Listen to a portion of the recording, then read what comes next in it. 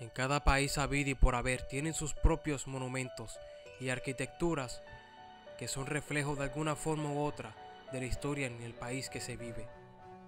En Ponce, Puerto Rico, está el Parque de Bombas, Museo de la Masacre de Ponce y por supuesto, la Cruceta, origen y cosas que aguantó. La Cruceta, además de ser un monumento histórico de Ponce, también es un lugar donde terminan muchos turistas provenientes de distintos lugares, sin discreción. Esta está ubicada frente al Castillo Serrayés, en uno de los picos más altos de la ciudad, lo que ayuda al deleite de la vista desde otra perspectiva. Lo que nos lleva a preguntar, ¿siempre fue así? ¿Para qué sirvió esto en el pasado? Durante una plática con mi abuelo, abro paréntesis, para mí un sabio, me dijo que antes de ser ese monumento en concreto de 100 pies, antes era de madera y no servía para lo mismo que ahora. Así que me di la tarea a investigar, por lo que mi abuelo tenía toda la razón. Los que vivían allí construyeron una cruz en madera que servía para vigilar quienes entraban por las costas del mar y del puerto, todo durante el siglo XVIII aproximadamente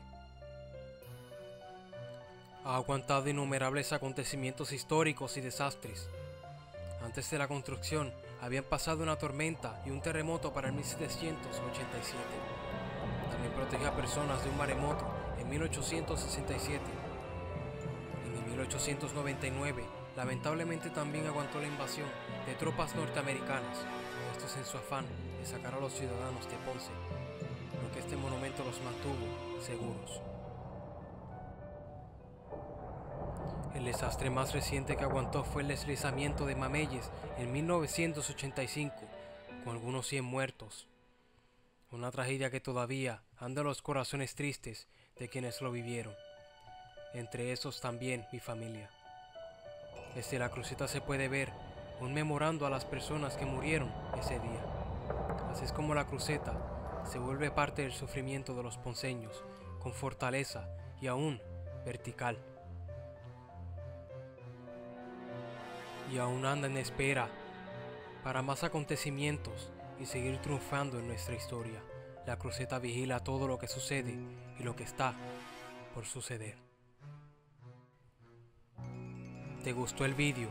A la izquierda dice una serie de cosas que puedes hacer, ya sea dándole me gusta, compartirlo e incluso suscribirte.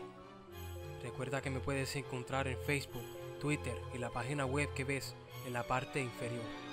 Como siempre, Muchas gracias, amantes de lo desconocido.